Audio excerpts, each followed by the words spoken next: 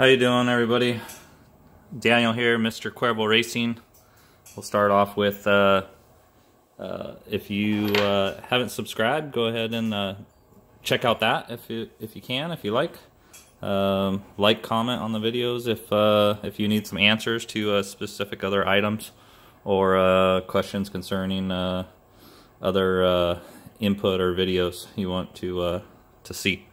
Um, that being said, uh, today we're going to talk about oil drain plug uh, repairs, fixes, and um, why it, why they're stripping out, why guys are having such a problem stripping out the uh, the threaded part of the case for the uh, the oil drain plug. Um, this is a really common issue. These threads get tore out. Um, this one's fine. I did a, do a repair earlier today on one, and that's kind of why I'm doing this video. So, to start off, in the book, uh, if you guys don't have a service manual, I really recommend getting one for your bike. A lot of useful engine in here, uh, info in here about your engine and, and bike chassis and everything else. This is on the page of the uh, uh torque specs uh, 2-16, and on the bottom here we see uh, engine drain bolt crankcase and drain bolt for the oil tank. So if you look across here in the index, that is uh, under foot pounds, and we're seeing 17 foot pounds for the uh, the crankcase.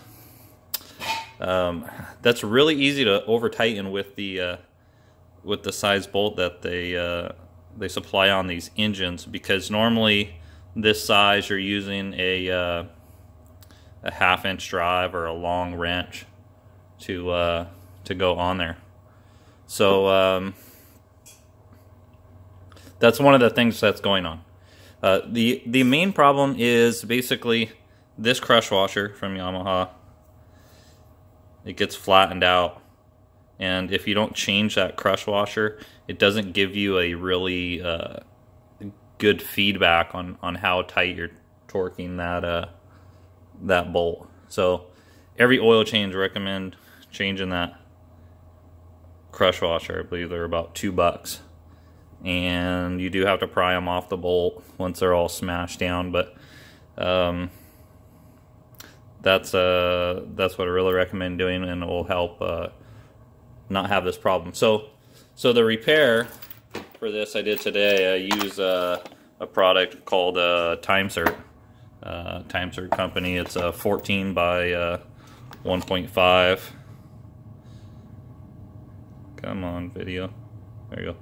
14 by 1.5 is the uh, size, and there's no longer a kit number on this. But basically, this product is a uh, a solid insert. So much like a uh, the process of installing a uh, helicoil, except this is a solid insert that's not going to separate or wind out or or uh, have any problems. This is a permanent fix, permanent solution. So they um, come on.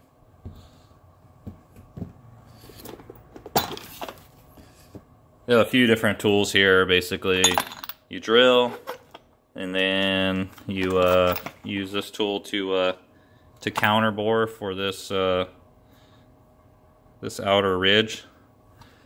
And of course tap they have a tap guide that goes with that. And um, and then this is a final set for the uh, insert that basically uh, spreads the final thread. The final thread is not fully machined on these. So this spreads that final thread and locks it in. But that's how I repair them. That's how I recommend to repair them um, for a, a lifelong uh, repair. But basically, what we're going to do today is uh, see how many turns. Uh, I have my torque wrench already set um, at the proper torque spec. So we're going to see how many, uh, how many or how much of a turn off of just hand tight that this bolt uh, is required with a new crush washer on it. So gonna thread it in by hand. I Just snug by hand. I already got my torque wrench set. We're at uh this is an inch pound wrench, for we're at uh, 204. Um, back that back off. Okay, I'm gonna start in um, three o'clock position and see what we get.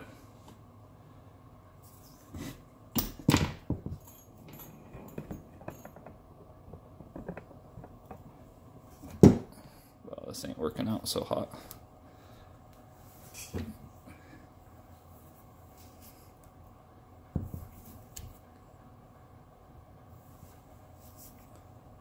Okay, so we're already uh, three quarter of a turn in. We haven't uh, got to the right torque spec yet. Let's see if this keeps going. Okay, so almost, so almost three quarters of a turn. Not quite. This is a substantial amount of torque on this on this bolt. Normally, uh, normally I don't tighten them that tight. Uh, because of the uh, because of the issues there of them stripping. But um, what I'm gonna do is I'm gonna put a small ratchet on the socket and see uh, see how tight it is by hand. If you if you take a ratchet and you just palm it, where basically you're putting your index finger up against the socket, that's going to reduce the amount of torque that you can put on a uh, on a fastener by reducing the leverage. So as that is right now, the strength of my of my wrist at that location, I can't I can't move that bolt anymore. So um, if I go out further, I can get a little bit of turn on it at you know where the handle is on this bolt. So if if you tighten in in this uh, this drain bolt palm and that ratchet, um, that's going to get you pretty close to uh, to full spec on there. And in my opinion, that spec's uh, a little uh, a little high for that material. But that's it for today. Um, we do these repairs uh, locally uh, if needed. Um, you can pick up that kit online. It works really well. That's what I recommend to do for uh, lifelong repair. But all right, thanks for watching, guys.